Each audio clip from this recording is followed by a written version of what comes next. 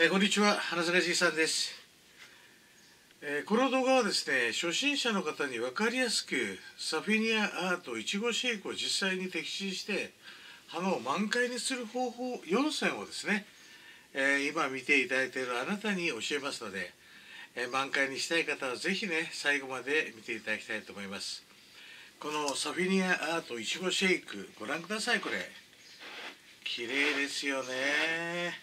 なんかね心がねこう癒されるっていうかね心が現れるような感じがしますよね、えそんな花でございます。一周回しましたけどね、え実はこのサビニアートいちごシェイクはですねサントリーフラワーズさんがペチュニアを品種改良した園芸品種なんですね。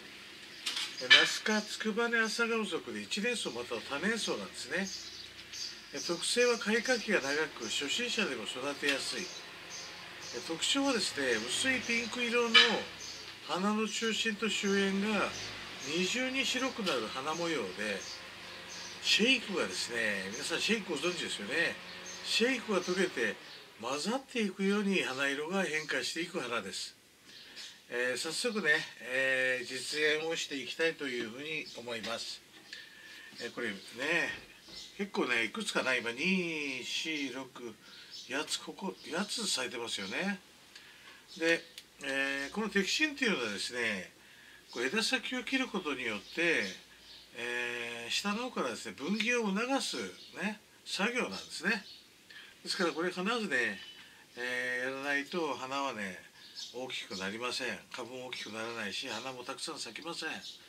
ですからこれはね是非ねやってほしいと思います、まあ、やり方なんですけどこれ見えますかね皆さん。ここにね大きな葉っぱが2枚ありますよこれ大きな葉っぱが1枚2枚3枚ありますけどね。ここでねこの上で切るんですよ。ここで。見えますかね皆さん。ここです。切りますよ。ピシッ。こんな感じですね。えー、こんな感じで切ってもらいます。これがね摘心になります。だからこういったね小さいものがある時はこれ芽をね摘むんですか。らこの先っぽをねこうですね皆さん。葉っぱの上でチョキンって切ればいいんですね。こんな感じです。これが摘心になります。でこれも花咲いてますけどね。えー、ここに葉っぱがねありますからこの葉っぱを押さえてハサミで押さえてあとチョキンと切るだけです。これだけなんです。ね。えー、これをね、えー、やっていくということですね。でこれだったらこれまだ咲いてませんけど小さいですけどこのチョキーンで切るんですね。はいえー、この花はね枝先を切るとあの下からねやっぱり芽を出そう出そうとするんですよね。そういった特性をね、えー、狙ったものです。そしてねいっぱい咲かせよう。だからここに今葉っぱがありますよね。こう皆さんね分かりますよね。これ2枚押さえて直近で切るだけです。これ摘心ですね。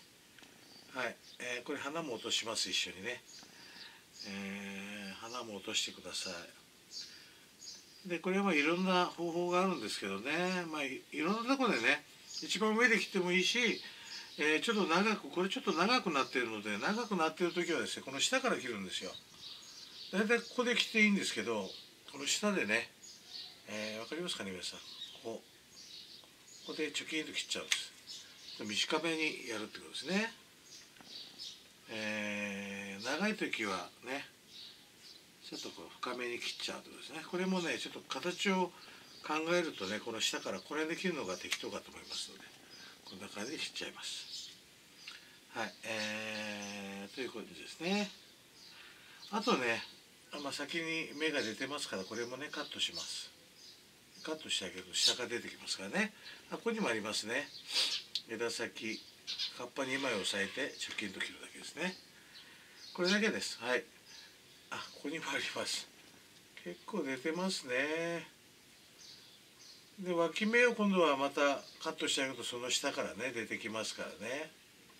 だからどんどんどんどんカットしてあげればカットした分だけねあのうんこう枝が増え枝数が増えますのではい、えー、結構こうお株になってくるんじゃないかなというふうに思います。こういうところはですねもう目だけちょっと直近と切ってやればいいですね。はい。こんな感じでね摘心が完了ということになるね。と摘心が完了したらですねこういったもので消毒をやります。切り口の消毒と虫とか病気の予防ですね。そのためにまずこう下の方からね枝あの株元から消毒したと全体的にやるということですねと切ったところの消毒にもなるし虫とか病気の予防になるということですね。えー、ということです。あとね、えー、適使用したら必ずこういった観光性肥料こういったものをね、えー、あげてください。切った後はねやっぱりパワーが必要ですからね。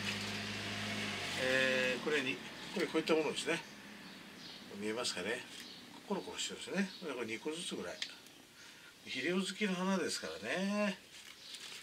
肥料付きの花ですから結構あの肥料はね、まあ、こういった2個ですねこちらの方にちょっとあげれば OK です、えー、これでね摘心の完了なんですけども引き続きですねこれ満開にする方法4つ4つですね皆さんに伝えますので、えー、これをやってもらうとねうん一番最後が一番重要ですけどね、えー、4つ目が一番重要なんですけどまず1つ目。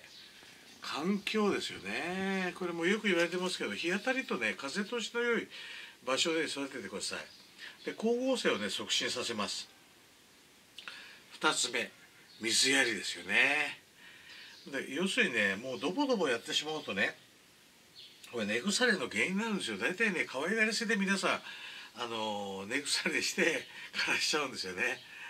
えー、水をやらなくて枯らす人もたまにはいますけど水やりすぎで枯らす方が多いですよね。だから表土が乾いたらですねこう表面の土黒くなってます。白っぽくなってきますからサラサラになってきますから。その時ね、えー、鉢底から水が溢れてるぐらいにたっぷりやる、えー、こう縁にねずっと上げる上げるってことですね。その内側に上げてほしいというふうに思います。3つ目肥料なんですよ。で、えー、植え込みの時ねあの元肥として、えー入れた肥料がねもうだんだん効かなくなります。で液体肥料ね500倍に薄めて1週間に1回から2回やってください、えー、液体肥料ってこういったものハイポレックスってありますんでこういったものをね、えー、私使ってますけどこうキャップ1杯キャップ1杯で8リットルの水。で大体、えー、1000倍ですからあごめんなさい。キャップ半分でね、えー、8リットル水でキャップ半分で1000倍ですから500倍といったらその倍ですからね。キャップ1杯。もう丸ごとね入れてもらえばいいかなというふうに思います。で先にね、えー、この原液を入れて水道水でこう混ぜるような感じですよね。こんな感じで OK だと思います。で4つ目。これが一番大事。摘心なんですよ。やっぱり摘心なんですね。重要なのは。だからねこれから23回繰り返してください、まあ、1週間に1回摘心やってください。ね、23回だから23週は我慢する花を。そしたらねもうめちゃめちゃ咲きますから。でこの適種ややらなくてもね花は咲きますよ。でもある程度しか咲かないんですよ。例えばですねそのままだったら20個ぐらい咲きます。でも摘心をやるとですね5060って咲くんですよね。この花がねすごいでしょ。だから摘心をねやった分だけ、まあ、1回やるごとにやっぱり10個はあの増えますからね。10個ずつ増えていくという感覚でいいかと思います。10個から15個増えていくという感覚で適用してもらえば重要かなというふうに思います、まあ、ここがね今日のポイントになるかと思います、えー、このサフィニアートいちごシェイクを摘心してですねこの鉢いっぱいのね花を咲かせたいと思います。最後になりましたがいつもコメントくれてありがとうございます。チャンネル登録してね花咲かじさんを応援しましょう。方法は今画面中に私の似顔絵出てますがこれピッとねピッとクリックするだけです、えー、今日もね最後までご視聴いただきありがとうございました。それではまた次の動画でお会いしましょう。